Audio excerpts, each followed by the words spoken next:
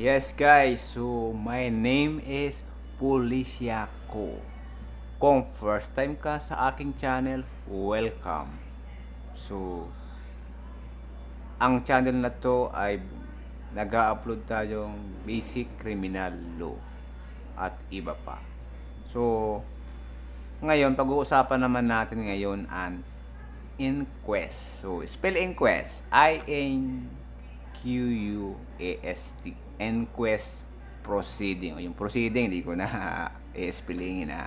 So, normally, ano nga, narinig nyo na ba tong salitang inquest? Ah, na-inquest na yan. So, punta nyo na lang doon. Diba? So, itong inquest, normally, kapag narinig nyo to, na-inquest na. So, ibig sabihin, nakasuhan na. Mayroon ng kaso. Ang hingin mo na lang yung information sheet ng kaso kung anong kung ano ang bail.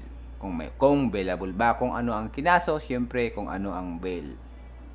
So, saan ba ginagamit tong inquest na to?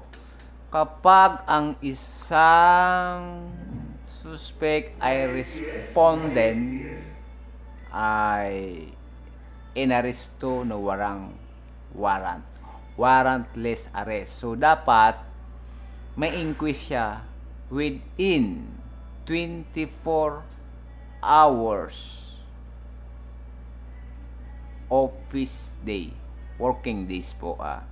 So, kapag kaya nara, kaya 'di ba, kapag ang isang akusado ay nahuli ng walang opisina, hindi agad siya makasuhan, 'di ba?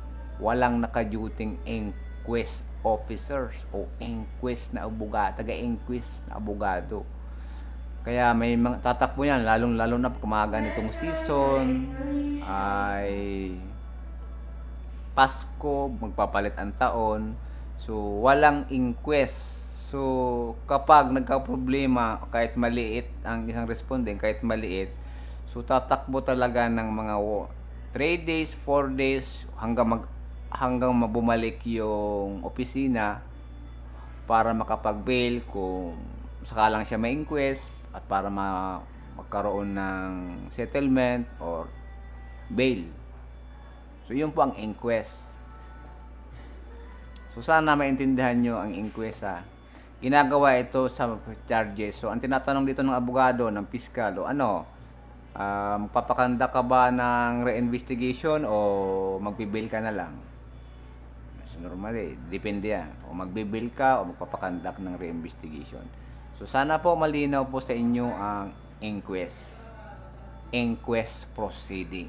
So, ginagawa to sa mga taong sa responde na naaresto na walang warrantless arrest, nagkasala na, kailangan ng sampahan ng kaso. Pero, within 24 hours, dapat ma-inquest siya. Kapag working days naman, hindi pa siya na-inquest, so palalabasin siya kasi maaaring incomplete yung dokumento na para i-file ang kaso, kandak na lang ng re-investigation.